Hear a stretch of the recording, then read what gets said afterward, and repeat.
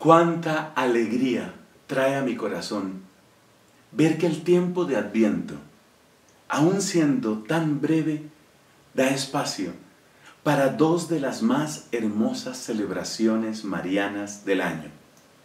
El 8 de diciembre tuvimos la Inmaculada Concepción y el 12 de diciembre nuestra Madre la Iglesia nos invita a todos, pero especialmente a los pueblos de América, o como dicen los estadounidenses, los pueblos de las Américas. Nos invita nuestra Madre la Iglesia a los pueblos de las Américas a celebrar la fiesta de Nuestra Señora de Guadalupe.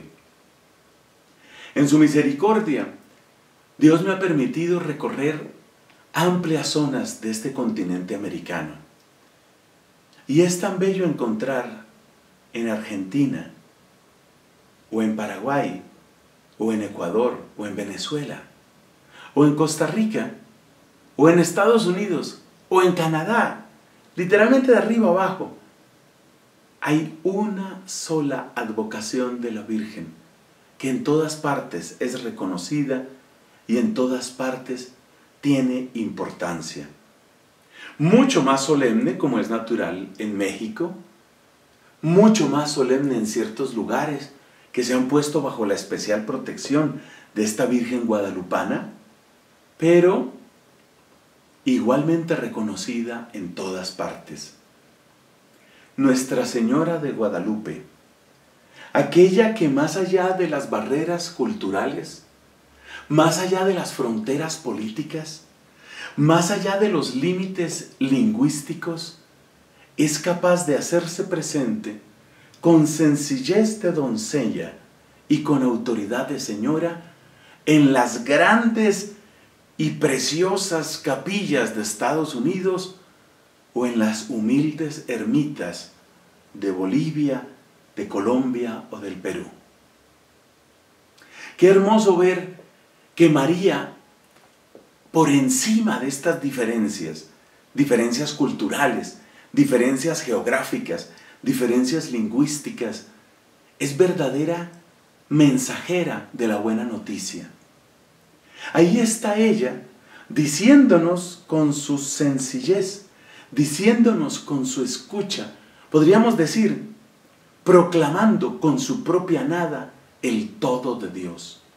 Porque esto es genuinamente lo que hace universal a la Santísima Virgen. Esto es lo que hace que su palabra y sobre todo su presencia misma sean tan elocuentes para tantas personas.